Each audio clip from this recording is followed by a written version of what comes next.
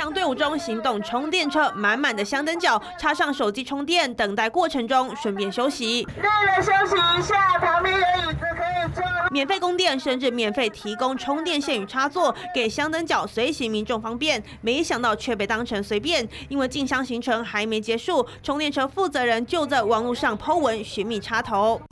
去北港的充电路上，豆腐头充电线一个都不剩。回程刚走六个小时，豆腐头剩一个。充电请上车，但下车不要带走，共享资源。不一定啊，有有时候两三两三位那个香烟角吧，有有时候一时疏忽有没有？马祖来他急着要要要跟马祖这样。一般有需要的人哈，大家方便一下。有时候放，有时候香烟角他会忘记那个插座。U B 的电池有没有？但我就保保留在车上，他会回来找。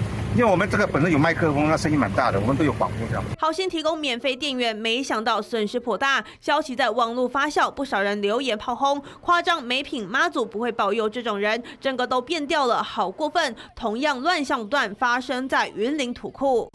快炒店进香提供免费餐食，但香灯脚们用餐完毕后，明明旁边有垃圾桶，却将垃圾丢在免洗餐具的篮子里，距离不过五步也要如此懒惰，让老板怒了，不排除调阅监视器，让这些人重新学习礼义廉耻。三雄综合报道。